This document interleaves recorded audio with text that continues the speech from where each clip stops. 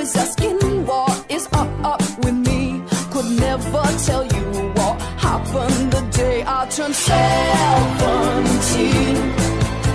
The rise of a king and the fall of a queen, oh, 17.